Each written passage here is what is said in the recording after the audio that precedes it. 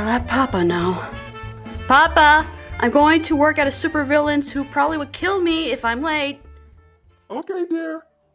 My sweet Hatty, I want to thank you for saving me that day. I will forever mark that day as the best day of my life. One day, my love, one day you will be mine. Oh, please. Why couldn't it be like before? Hmm? Why did I agree to this? So, this is the kitchen. It may be best if you don't leave this room until your shift is over. Your schedule is as follows breakfast will be at 8 a.m., lunch will be at 12 p.m., and dinner will be at 6 p.m. I guess I should go do some grocery shopping. Oh, uh, don't worry about that. The Hatbots will do all the shopping for you. Hatbots? Ta da! Meet Hatbot 107. If you need anything, just ask, and I'll get one of the Hatbots to do whatever you need. Thank you, Dr. Flug. You're very kind. Don't mention it. Oh? Oh, 505. This is our new cook, Gabriella. Gabriella, this is. A bear? Is it. is it dangerous? no, uh, 505 is harmless. He's actually the manor's housekeeper. Mm. Woo! Aww. Oh my gosh, you're just a sweet little cinnamon bun, aren't you? Glad that worked out better than expected. 505 will be helping you out by delivering the food once you're done. I look forward to working with you, 505. Whoa! Tune in next week for our new inventions and strategies. And cut.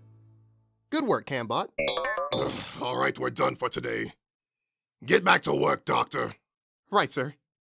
Woo! Oh, lunch is here. Thank you, 505.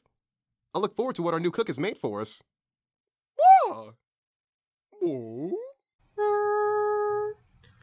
I'm not hungry right now. I'll get to it later. Woo! What do you think you're doing? I expect my lunch to be in my office, not being served to me like another employee, stupid bear. Mm. Woohoo! Huh? What's wrong? Woo! Oh, there, there. It's okay. Mm.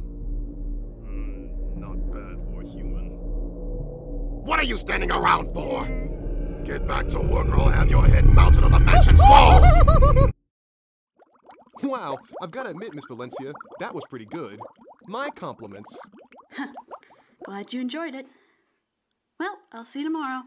Wait, where are you going? I'm going home. My shift is over. Yeah, about that. You can't actually leave. What? Well, to keep our organization secured, employees are to stay within the property of the manor. In other words, you can't leave. The contract said nothing of me being forced to stay here. Uh, please calm down. Calm down? How am I supposed to calm down when I can't even return to my home? But, but, but Black Hat made it clear. Well, I'm sorry, but Black can just kiss my butt. I am not staying here. Quite the tongue you've got there, Miss Valencia. Boss! I didn't agree to this. Why, Miss Valencia? I thought it was obvious when you agreed to your employment.